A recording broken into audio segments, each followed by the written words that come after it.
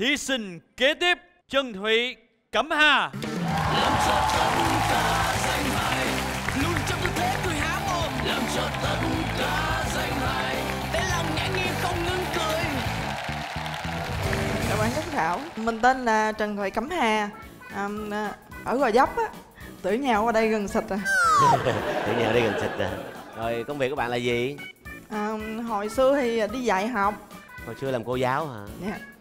Làm cô giáo xong rồi à, nghỉ ở nhà à, chăm con. Bán à, online á, quần áo rồi. Kinh doanh trên mạng quần áo giày dép rồi phấn. Rồi Em bạn à, đã từng diễn hài chưa? Hồi xưa xưa lắc xưa lơ thì có Hồi rồi. xưa làm là hồi nào?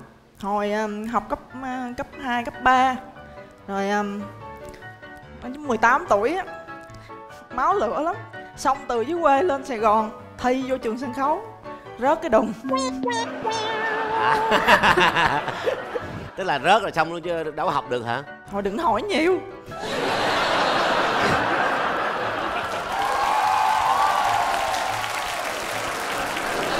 Mới lên mà khai thác dữ dội quá vậy. Thì hỏi hỏi, ai không biết tưởng có tình ý với người ta? Ờ làm ờ, hỏi gì hỏi dữ vậy? Làm sợ muốn giờ là không hỏi nữa ha. Ừ bạn nghe hỏi nè. Thi không Thi chứ ờ thì thi đi. Rồi. Rồi. Thi luôn nghe. Dạ chị Hà ơi Dạ. Mời chị sẵn sàng vào vị trí và chuẩn bị đạo cụ ạ. Hỏi khỏi vòng một hỏi nhắm có vòng hai không? Ờ. nhắm có vòng hai. không mà vòng một khỏi? Chị Hà ơi. Dạ. Mình bắt đầu nhé à. 60 giây Bắt đầu. Ừ, rồi Trấn Thành đây rồi.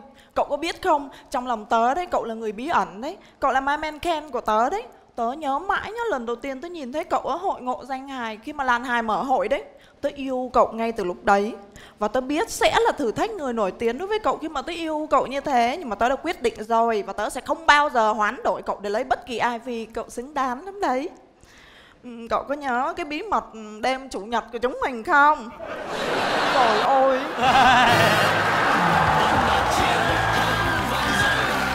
Chúc mừng chị. 2 triệu đồng lôi hết những cái game show nào có mặt ông Trấn Thành là lôi hết vô đây. Bà Rồi. làm bên quản lý hả? Ừ Quản lý á. Bà làm bên trưởng phòng quản lý game show Việt Nam hả? Lôi hết trơn ra luôn. Ghê thì các Ghê bạn thiệt. lôi hết tất Con- cả game show mình tham Còn gia. dài lắm. À, đó nói luôn rồi nói hết coi. Khoan Nếu nó vui để dành thi tiếp Trời ơi, người ta chuẩn bị quá trời luôn mà. Khoan mà còn cái cái phần còn lại là tặng được không hay là để dành thi? Cái phần còn lại của game show á là còn tặng được không? Tặng chơi được không hay là còn còn đạn không? Dư đạn không? Chàng ơi, không biết nữa. Nếu mà tặng luôn cái không ờ, Ví dụ nha Tặng Rồi cái hồi mấy vòng sau thi mấy kia không cười cũng chết tôi. Thì đó. Mà nhưng giờ mà quan trọng là còn hấp dẫn không? Còn chứ. Thì chơi tiếp đi bây giờ là bí mật đêm chủ nhật của tụi mình nè. Đó bây giờ bắt đầu câu chuyện đó chơi tiếp là chơi nữa vòng 2 chịu không?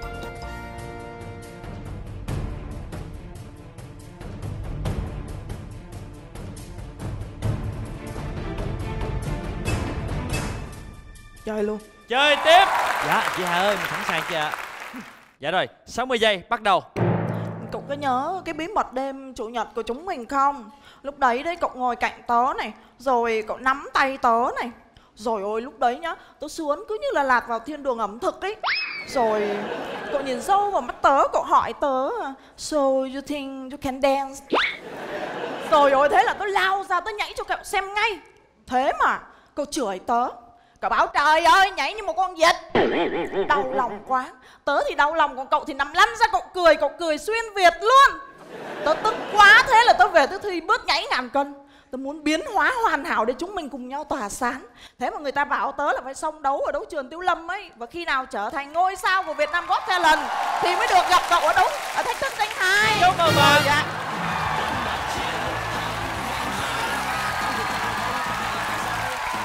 Trời ơi xuất sắc. Hệ thống câu chuyện một cách rất là logic. Bây giờ tôi hỏi bà nè Ở nhà bà bán cái gì bà khai thiệt đi. Bà bán bán cái gì? bà bán cái gì mà bà rảnh bà ngồi bà nhớ bà, bà, bà sắp văn rồi bà đưa vô câu chuyện rồi bà tới cái này tới cái này kia bà sắp y chang như chuyện đúng rồi. Bà bán phải ế lắm này bà mới rảnh vậy. Trời ơi nói đúng y rồi trời. Thì bán quần áo á Chỉ có bán được cái mùa Tết nè Mùa Noel nè Với cái mùa con người ta đi học á Còn lại mấy mùa khác là ăn rồi cắm cái đầu trong cái YouTube không à cái cưng quá. Coi bất chấp cái gì cũng coi hết. Bây giờ mới vòng hai thôi chị muốn nói với bạn hai chữ. Triệu like nha đang Triệu. thích rồi đó nha. Chị ơi Dạ. Chị đã có 10 triệu rồi đó. Thông minh quá. Giờ nè Dạ. còn gì làm nữa không? Còn nãy ta nói rồi. Đừng bao nhiêu đó. Chưa có xài tới đạo cụ mà. Chơi đi chơi đi Chị ơi. Vậy chị quyết định đi tiếp đúng không ạ? Thấy tiếp. Đi tiếp. Và 60 giây. Bắt đầu. Chàng ơi Tám ở dưới quê lên mang quà cho tụi bay nhiều lắm. Trời đất ơi. Ê ê khoan đợi Tám thấy Có điện thoại. Alo Bảy hả? Chàng ơi lên tới rồi. Trời ơi bà biết sao không? Tôi gặp tụi nó hết trơn rồi Bà thấy ở trên tivi đẹp không? Ở ngoài cũng đẹp luôn Hồi nãy tôi đang đứng ở ngoài kia tôi thấy đi ngang qua. Chèn ơi cái mặt tôi nó hèn bố cục sắc nét gõ ràng Cục nào nó ra cục nấy vậy đó bà ơi? Trời ơi tôi nói bà nghe nè Cái lông mi của con Trấn Thành nó cong queo à bà. Còn à, cái chân mày nó đen mà nó gẫm hết biết vậy đó. Trời ơi tôi nói bà nghe nghe. Cái mặt của nó không biết nó ăn cái giống gì mà nó mịn mịn mịn mịn thấy cưng lắm. Trời ơi Trời ơi dễ thương lắm bà ơi. Ôi tôi nói bà nghe nghe. Còn à, Việt Hương hả? Không có. Năm nay đổi người rồi. Mà tôi nói bà nghe Mận như cái ông giám đốc chương trình này nè Ông khoái cái gu lùng hay gì á. Trời đất ơi.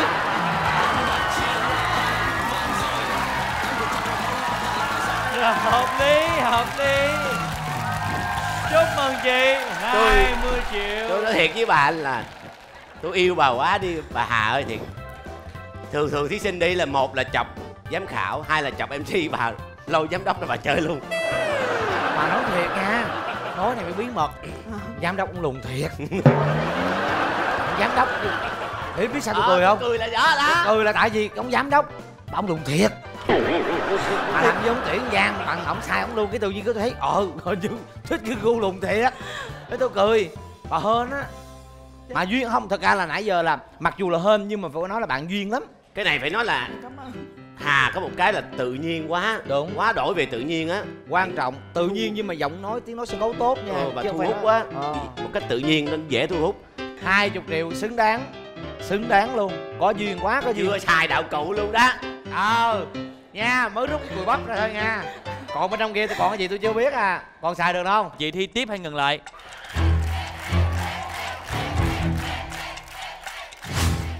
Với sự duyên dáng hóm hỉnh sẵn có, thí sinh Cẩm Hà sẽ đi tiếp hay dừng lại ở vòng 3 để nhận 20 triệu đồng.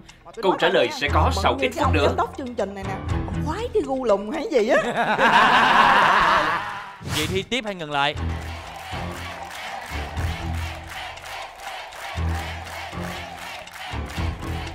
Thì tiếp. Thi tiếp. Và 60 giây Bắt đầu. Chàng ơi hai đứa bay tệ lắm nghe mần li vào sâu tùm lum mà không về quê tám mẫn nào hết trơn vậy con. Trời ơi, ở dưới quê tám hang bà con người ta yêu nghệ thuật, người ta ái mộ nghệ sĩ dữ lắm. Trời ơi, bữa nè tám nè, tao thèm ca dữ quá cái tao cũng mận cái liver sâu.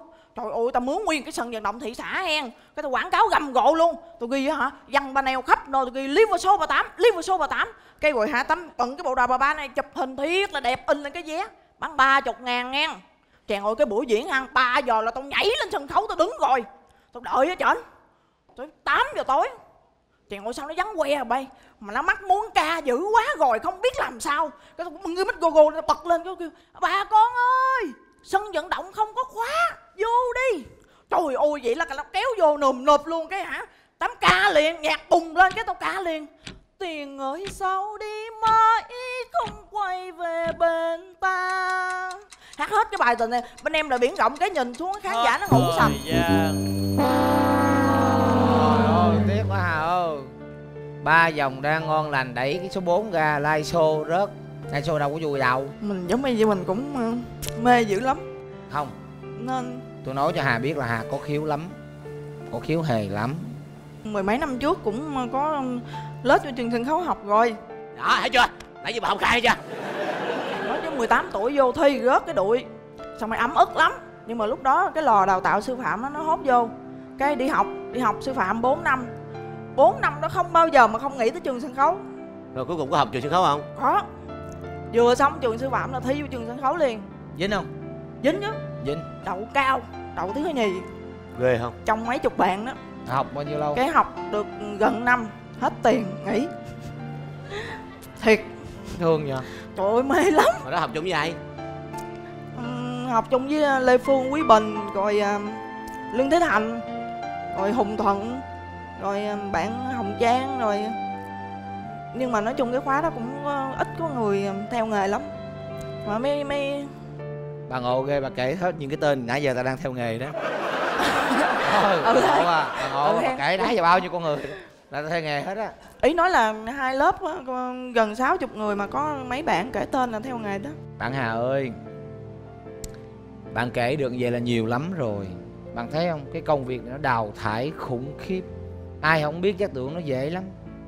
Làm rồi mới thấy sân khấu, vinh quang đó, nhưng chua chát, cái người nghệ sĩ nhận nhiều lắm. Bởi vì tôi nói à, lâu lâu á thành ở nhà thành nói chứ em cầu, ngồi cầu trời khấn phật.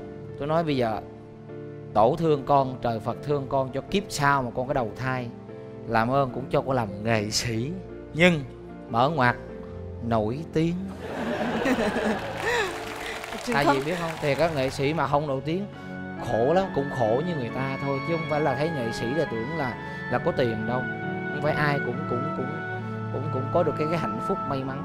Thành thử ra bạn bạn bạn lừa cái công việc này á nó nó là một cái nó cả một cái cái quá trình để mình phấn đấu để mình được lên sân khấu thấy không? Mà bao nhiêu năm rồi còn nhớ lên mê mà máu tôi thấy nhớ dữ lắm mê nhớ lắm. dữ. Đó cái này đúng gọi là đam mê.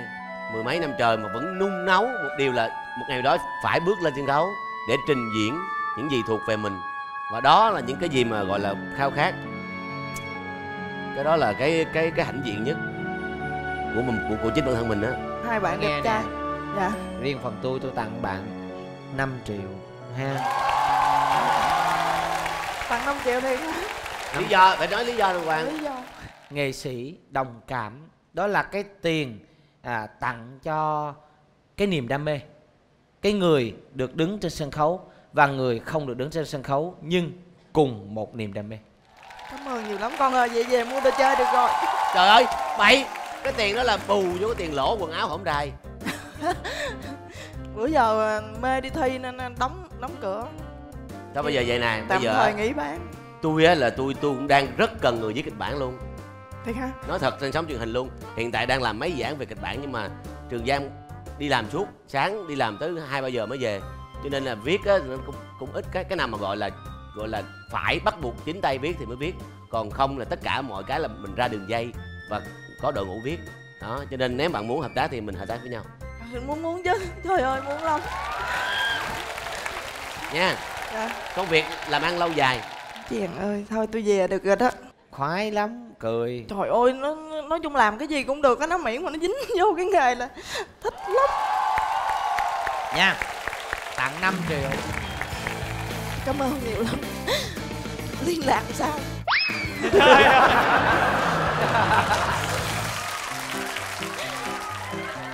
Trời cái này bà. Bà bây giờ tôi mời bà lên cái miếu kia chung với ông kia luôn. Mọi cái suy nghĩ của bà bà rào hết không thoát cái đâu với đâu chị hết. thoát được ờ. không thoát cái đâu với chị hết. Thứ lèo hả? Số điện thoại đâu đưa cho chị liền. Nè lát nè coi nè. Sau khi ghi hình lén lén đứng ngoài kia đòi tiền 5 triệu nè. Thấy không? Đâu có chạy thoát được. Chưa cảm ơn bạn. Rồi kéo mãi.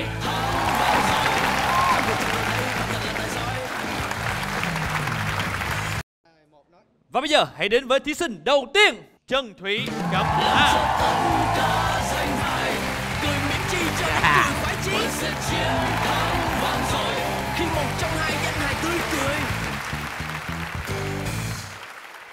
đó bữa cũng khóc. nụ cười cũng nụ cười quen Ừ, thuộc có đường đường bữa khóc này tươi rồi.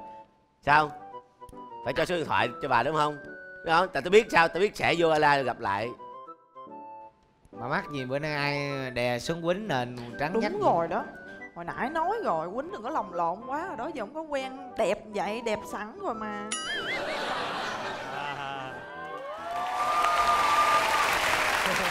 Cái bữa kỳ trước là tự quánh mượn cái bôi bôi mình lâm la nay cái có vàng make up chuyên nghiệp người ta đè người ta quánh túi bụi mà. Giờ cái mặt phải mà phải làm như gì quýnh túi bụi.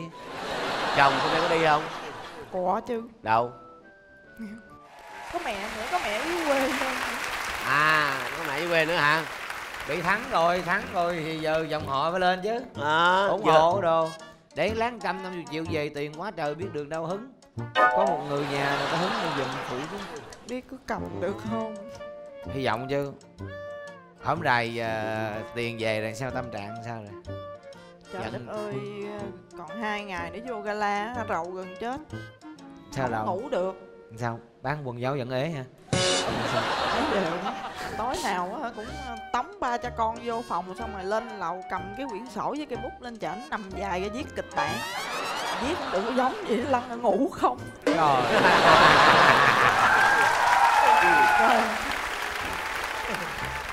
là hỏi sao nó không mập? Viết kịch bản người ta suy nghĩ để vận dụng trí não chưa thành công là ngủ rồi.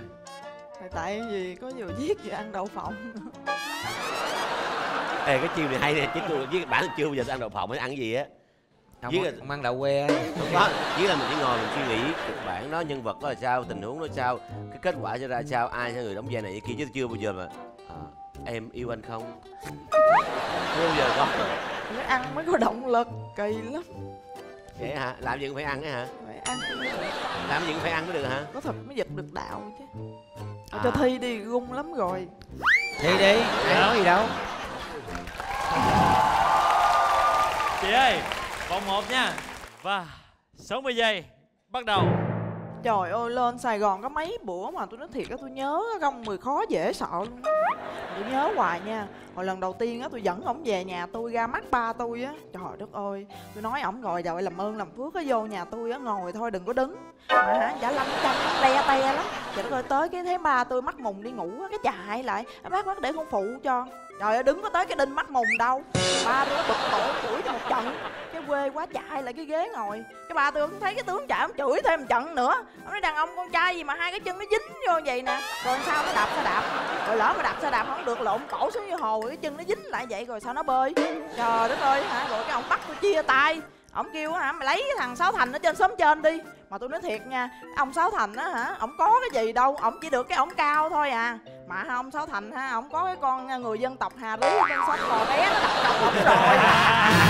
đặt đầu ổng rồi.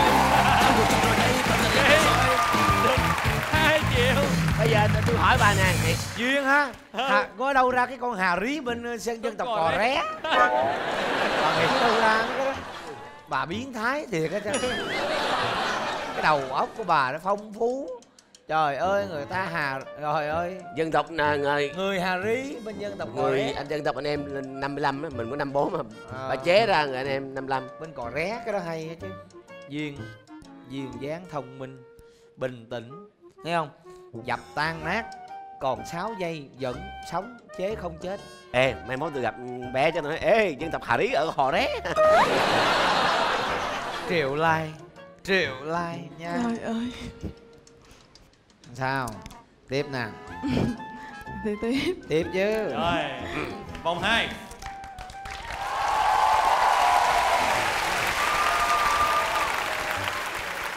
Làm đi. Đợi đợi đợi đợi. Đó giờ đổi thái độ rồi. 60 giây bắt đầu Biên tập viên ăn đằng sống nói đằng gió, đài truyền hình ăn có nói không. Và sau đây là tin sốt trong ngày. Rạng sáng ngày hôm nay, trang mạng Facebook đã lan truyền một bức ảnh chụp nam ca sĩ Ngô Kiến Huy đang ôm ấp thân mật với một người đàn ông lớn tuổi. Bức ảnh nhanh chóng được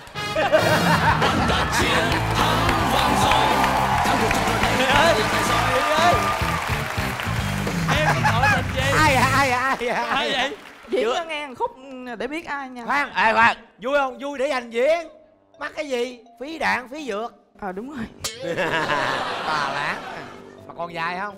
Con còn dài để dành tới diễn. Trời ơi. cái vấn đề ở đầu tiên là cười là cái gì? Đang đằng sống nó gió ăn có được không? Mà đã, đã mình thấy đã thích thích thích thích cái vụ pha gieo vần rồi những cái câu đó là ai cũng biết rồi. Qua cái vụ ngô quê ôm ấp người đàn ông lạ tôi phái liền. Không cái vấn đề như này cái mặt chân thật đúng rồi. và diễn á khả năng ăn nói rất lưu loát và nghe rõ từng chữ. Cái mặt của phát thanh viên thì phát thanh viên người ta đâu biểu cảm đâu người ta chỉ biểu cảm với những việc đau buồn chút xíu còn những cái thông tin bình thường là người ta mặt rất bình thường. Đó quan trọng đó. cái quy ôm ấp người đàn ông lạ. Ờ. ví dụ như mình là ê nguyễn quỳ qua thấy ôm ông kia kìa. Biểu cảm của không phát thanh viên là thì tôi nguyễn quỳ ôm ấp với một người đàn ông lạ? Người đàn ông lớn tuổi mới à, lớn tuổi. Cái ý hài của bạn á, văn minh sạch sẽ. Triệu lai. Triệu lai dập luôn. Dập luôn. Rồi. Rồi. Chị. Thì ông diễn lại từ đầu tới khúc đó hả? Bậy. Diễn nước luôn. Diễn nước cái bà từ đó trở đi sau Bây cái giờ- ôm ấp từ cái tin đọc lại ngô kiến quy thôi đúng cái tin nữa thôi. Rồi tiếp. Chị ơi vòng 3 nha. 60 giây bắt đầu. Trang mạng lan truyền một bức ảnh chụp Ngô Kiến Huy đang ôm ấp một người đàn ông lạ mặt lớn tuổi. Ừ, bức ảnh nhanh chóng thu hút hàng triệu lượt like và hàng chục triệu lượt share. Fan hâm mộ thì rần rần, báo chí thì y xèo. Hội bảo vệ động vật hoang dã vào cuộc.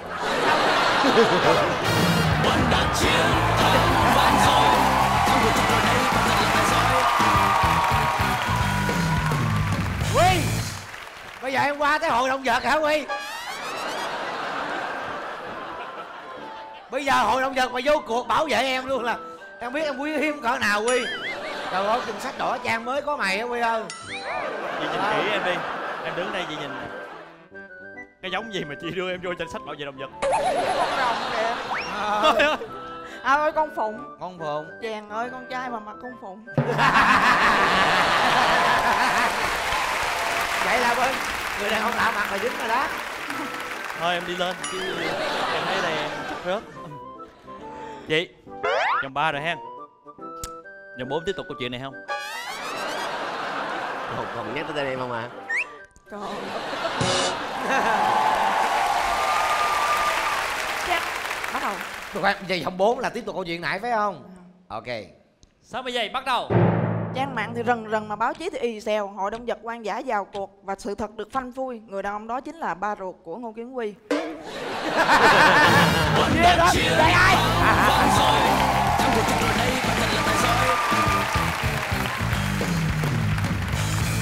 có duyên quá bà Hà ơi. Tôi đã nói rồi, showbiz sẽ dậy sống diva có Hà Trần. Giải trí có Hà Hồ. Hài kịch có Hà Lùng. Tin tôi tin tôi đi tin tôi đi. Showbiz sẽ dậy sóng Tôi biết tôi lùng rồi. rồi bà sẽ phải trở lại sân khấu thôi. Tôi bảo đảm sau cái chương trình này sẽ có một ngàn con người tìm tới cái shop thời trang của bà ha? Trục vớt bà ra khỏi cái cái ngành thời trang. Đẩy bà vô đây con đường sân khấu. Quá duyên dáng thông minh quan trọng là gì? Chân thật. Điều đó khó kiếm. Thời buổi hiện nay bán buôn ế ẩm còn chân thật là khó kiếm. Ừ. đúng không đúng không quý vị Ủa, Ờ. nhưng mà nói nha Dạ. chân thật là khi mình trình diễn thôi chứ buôn bán mà chân thật quá là không có lời đâu nha mua Không. một bán một Không. là chết luôn Thật lắm, bán lời ít phải, thôi. phải chân thật thì lợi ích Có thôi là Nhưng mà mình- mỗi lần bán là bán nhiều. đúng rồi mình bán hàng giả mà lợi ích thì nó cứ bán lâu Thiệt là tào lao. triệt lai đây là cơ hội cuối cùng bạn sẽ đối mặt với một số tiền lớn khủng khiếp. Sẽ bằng 3 mùa sale.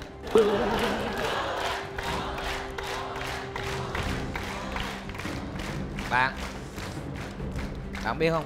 Dạ. Quang Lê đã từng hát bài chuyện hai mùa mưa. Đây 150 triệu. Nó bằng với chuyện ba mùa sale.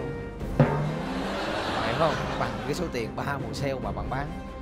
Thử ra là bạn phải có cái chuyện ba mùa sale của bạn tập trung tư tưởng thoải mái, nhẹ nhàng. Cái gì phải bất ngờ? Cái dòng 4 chưa có bất ngờ. Dòng 4 là tại vì duyên. Khán giả thiện cảm.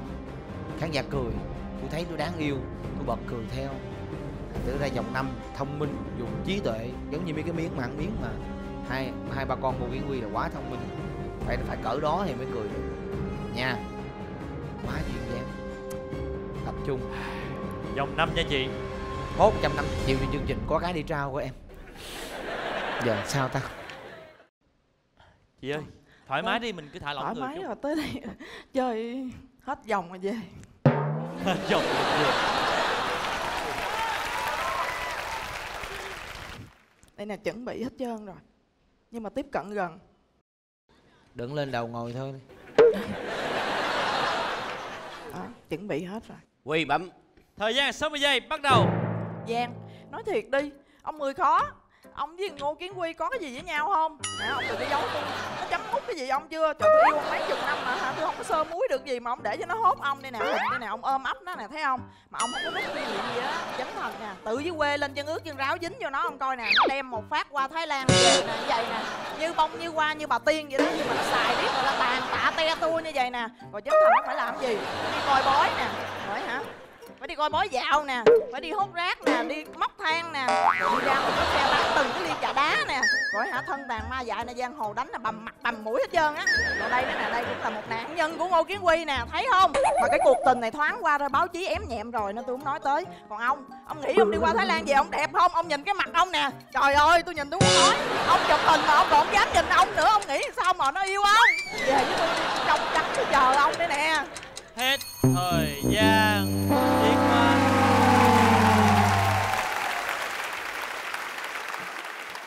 Quá dở.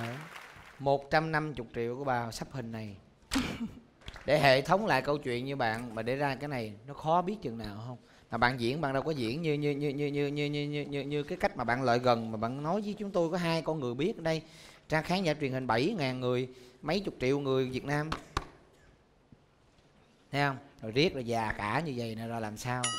Rồi cái gì vậy? Cái này phải làm cái kiểu phát thanh viên luôn. À, quý vị và các bạn thân mến gì đó vào cái đó trấn thành gì đó gia trường giang gì đó về đây. À, câu chuyện này vậy nè giờ trấn thành nó như vậy rồi cuối cùng qua bên kia phẫu thuật. Sau này cuối cùng thì ra sự việc là do giang díu với ngô kiến quy sau đó bị tạt axit một thời gian. Trường giang không còn thấy mặt mũi vì bạn bè không còn nhìn nhau. Trường giang quay mặt làm ngơ selfie cũng không dám nhìn vào mặt hẳn vào mặt mình. Tại vì trường giang là người thứ ba đứng trong vụ việc này. Sau đó trường giang qua bên kia giải phẫu luôn giải gái thành một cái con điên đứng cười giữa đường. Rồi đó. Sau cuối cùng ra mẹ trường giang phải vào cuộc. Mẹ trường giang vào cuộc nó không làm gì được hết. Ở xong cuối cùng bây giờ quay về Việt Nam thì Trấn Thành đã bị đánh, đánh thân tàn ma dại rồi. Hôm qua đây giờ cuối cùng phải đi bán trà đá mà bến xe. Rồi cuối cùng làm cái gì? Giờ bán than ngoài kia. Rồi bao nhiêu thứ trên đời nè, không làm. cái này nè nếu hệ thống vậy là chị Hà nè. Ở đây có ba nhân vật là Trường Giang Ngô Kiến Huy là ba nhân vật của showbiz. Trong đó có những cái nhân vật chính và những nhân vật phụ.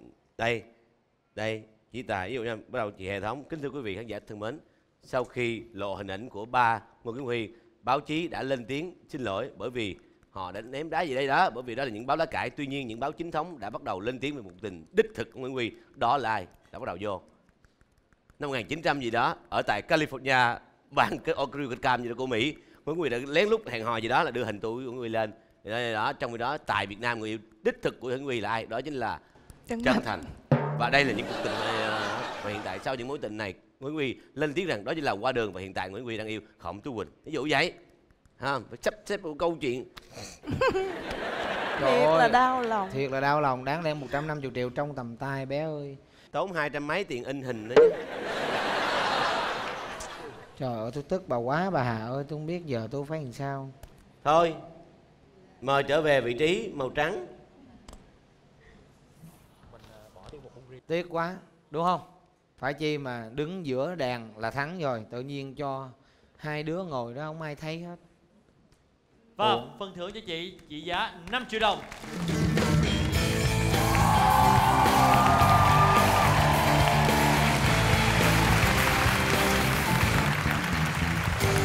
Nhưng dù gì đi nữa tôi cũng xin à, quý vị phải ghi nhớ cô này. Bán muôn riêu đâu? Rồi dấp á. Gò giáp ha. Ở đây là gò giáp nè. Đường nào? Đường à, số 6 gần gần vô nghệ sĩ đó nhưng mà đó thì bây giờ đó biết cái chỗ Rồi. bán muôn riêu rồi có gì ghé ủng hộ là một. Biết đâu các nhà tổ chức sẽ mời và đi diễn thấy không? Không nhiều khi ở bên điền quân người ta mời tới để giao phần bún riêu buổi trưa buổi chiều buổi tối. Thì cũng được. Đúng. Riêng cái anh giám đốc là cho hai miếng chả. À vậy hả? Phải không? Cố gắng lên nha. Duyên dáng lắm. Mọi thứ đều ổn hết. Ước mơ sẽ nằm trong tầm tay Thấy không? nếu mình còn đam mê. Mê lắm. Cảm Mê không? bạn. mê quá. Rồi mai tôi gọi điện cho bà. Rồi xong. Thà đi.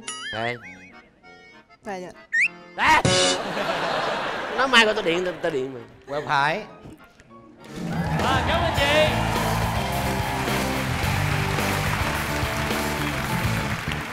Sự thì 150 triệu tuột khỏi tay mình ở những cái giây phút cuối á nói không tiếc thì không đúng. Thật sự thì mình cũng có một chút tiếc nhưng mà như là mình đã nói là mình đến với cuộc chơi này vì một cái đam mê nó rất là lớn.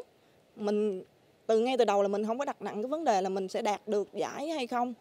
Chủ yếu là mình được diễn ở trên sân khấu thôi và mình được ờ, mình được công nhận, mình được khán giả vỗ tay ờ, tán thưởng cho những cái tiết mục của mình. Và thật sự là mình đã đem lại được tiếng cười cho ban giám khảo nè, cho mọi người xung quanh là mình cảm thấy rất là vui rồi.